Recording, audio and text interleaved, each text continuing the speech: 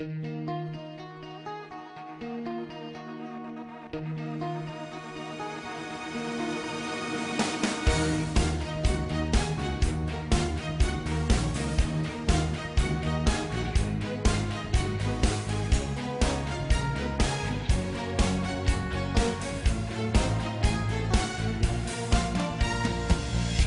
vingt ans, c'est compter au plaisir, les femmes le vin, les hommes il est pire.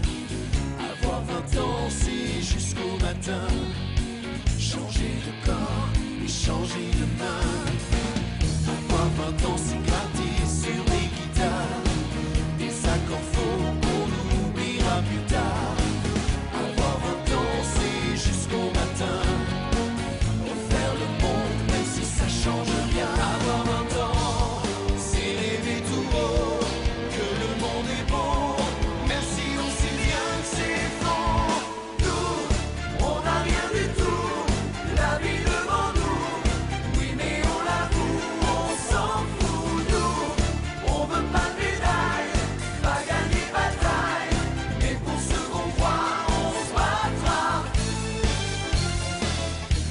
sans rien de foutu, mais tout vous blesse.